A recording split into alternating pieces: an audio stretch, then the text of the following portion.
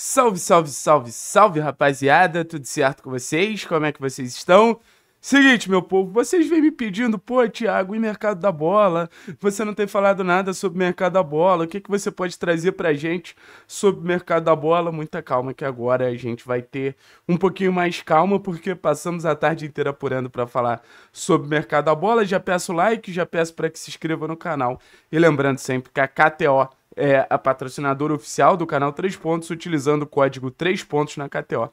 Você ganha 20% de bônus no seu primeiro depósito e me ajuda muito mostrar lá na KTO que vale a pena apostar no meu trabalho. Dá essa moral, dá essa força. Vamos falar sobre Léo Chu. Não sei se vocês lembram do Léo Chu, cara. Um atacante aqui que no Brasil ele foi bem, velho. Foi bem no, no, no Ceará, quando saiu de empréstimo do Grêmio. Foi bem no, no próprio Grêmio, naquele ano rebaixado. É, foi um dos poucos jogadores que se salvaram do Grêmio.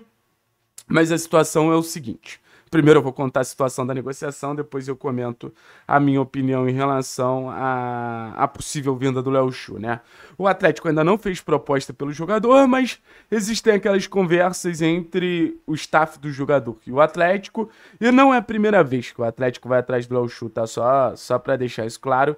Já em outros momentos o, o Atlético foi atrás do Léo Chu, tentou entender as condições para contratar o Léo Chu. Vendo essa movimentação, não só do Atlético, mas de outros clubes brasileiros, o Seattle Sounders, que é o time lá que o Léo Chu joga, time da MLS, ativou uma cláusula de renovação de contrato. Ou seja, o Seattle Sounders se protegeu desse interesse do futebol brasileiro no Léo Chu. Clubes como Galo foi atrás, acho que o próprio Grêmio já tentou o retorno do Léo Chu. Ou seja, o Léo Chu agora ter contrato até final de 2025 com, com o Seattle Sounders.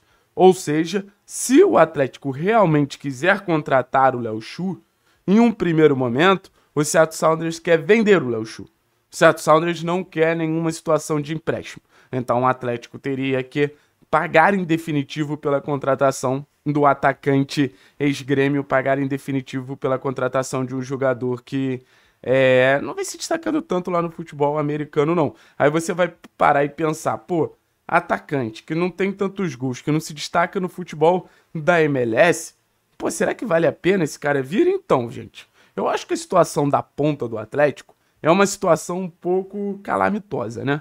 Porque, assim, se você for parar pra ver as reais opções que o Atlético tem ali naquele setor, é Kaique Paquetá, é Julimar, e você tem com o Ed Canobi, que aí eu concordo que são de um nível maior. Então, assim, quando você fala no Léo Chu, eu acho que você precisa pensar primeiro em quem você tem. Eu entendo o torcedor do Atlético que naturalmente fica se perguntando: pô, é esse o tipo de reforço que o Atlético vai trazer no mercado de transferências? Mas, cara, eu não sei se vai ser esse, eu não sei todas as movimentações do Atlético. A gente está tentando apurar com, com, com, toda a dificuldade do mundo, porque o Atlético está tentando fechar o máximo para a gente descobrir qualquer tipo de informação. Mas, eu vou ser bem sincero com vocês, eu gostaria de ter o Léo Chu, cara. Eu gostaria de ter o Léo Chu. Ah, mas é mais um jogador que vem, inútil. Mas, cara, mercado da bola de alguma maneira é tentativa e erro, tá? Mercado da bola, de alguma maneira, é tentativa e erro. Acho que o Léo tem algumas boas características, principalmente para o jogo do Cuca. O que mais me, me, me motiva a pensar numa contratação do Léo Chu é isso. É um jogador que tem um encaixe certinho ali para o modelo de jogo do Cuca, que é esse jogo de transição que precisa desse protagonismo dos pontas.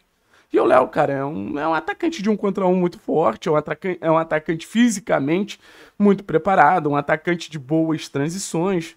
Então, assim, o Atlético está tentando certificar de um jogador que chegue, se encaixe no modelo do Cuca, se encaixe financeiramente na realidade do clube.